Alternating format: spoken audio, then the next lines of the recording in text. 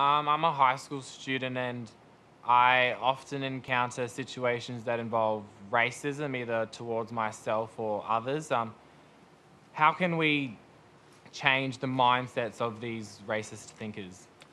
Ken Wyatt, I'll start with you. You've spoken very passionately about this. I've heard you already. Yeah, racism hurts.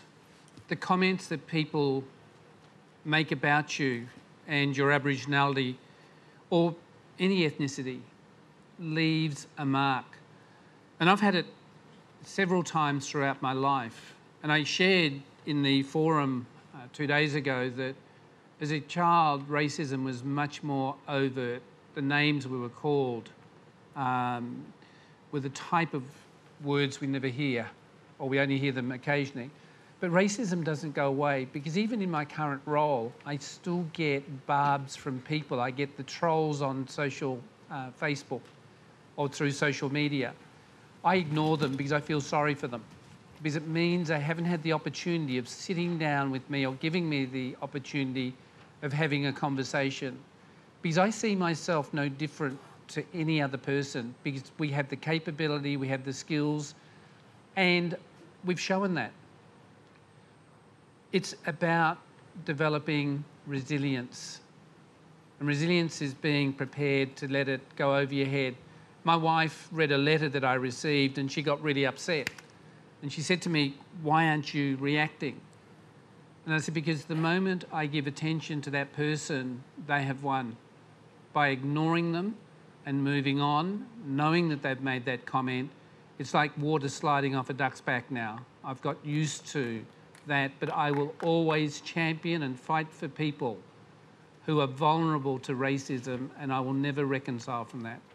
Nova, we, we heard from, uh, thank you. From the Australian of the Year, uh, Adam Goodes, um, that what was said to him in the playground still lives with him now. Mm. He can't forget it. He doesn't want to forget it. Yeah. And it still hurts. It, it does. And um, like Ken, like myself, like, you know, hundreds and, you know, pretty much, well, probably 90% of Aboriginal people have all suffered um, racism. And it hurts to the bone. And we are human beings. And we should not be judged upon the colour of our skin, you know, or our beliefs. And I have children, I have a grandson, and as a mother, um, like what Ken was saying, I teach my children to rise above it, and it is very difficult.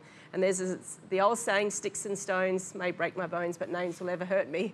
And, but it doesn't take away that, that pain and that, that suffering that you're endured just for being who you are.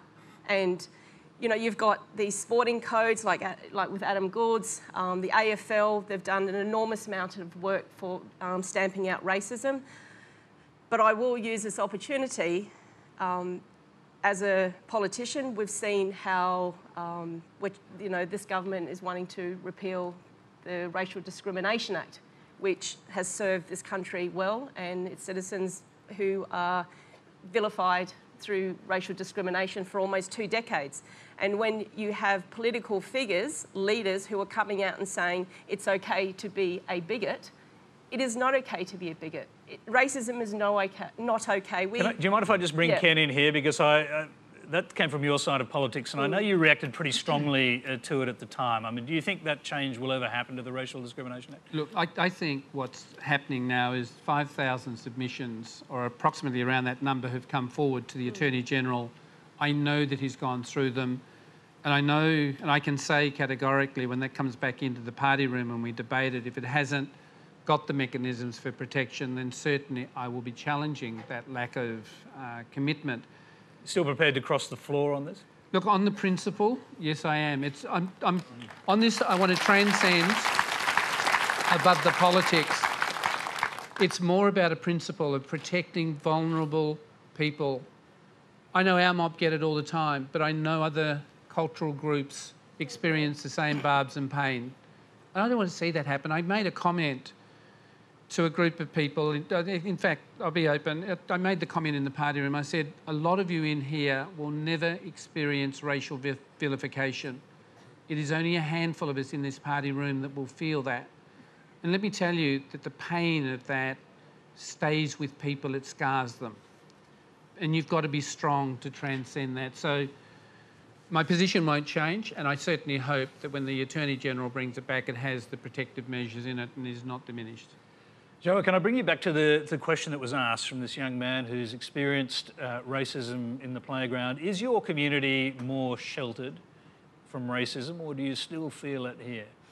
We still feel racism in our communities. But, you know, as an elder or a man with families myself, I simply tell people, you know, just take my advice and ignore all of that. Just be proud of who you are, really. Proud of yourself and, you know, just simply walk away.